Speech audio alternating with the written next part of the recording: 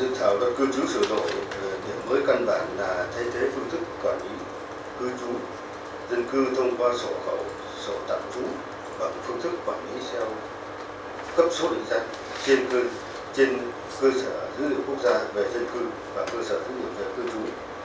Thì xin báo cáo với các bạn là tính đến tháng 7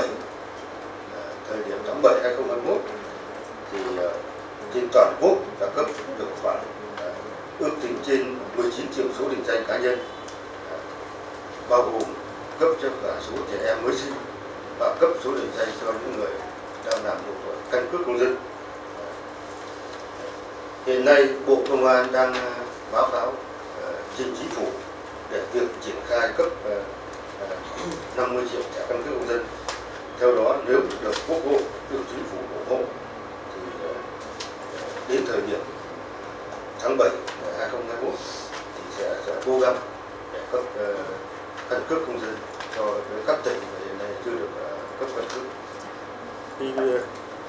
khi làm thủ tục và khi luật với hội đồng khi làm thủ tục thì sẽ thực hiện theo luật cư trú có hiệu lực từ mùng 1 tháng 7 năm 2021 để sau này khi có luật hiệu lực thì chính phủ bộ công an sẽ hướng dẫn chi tiết về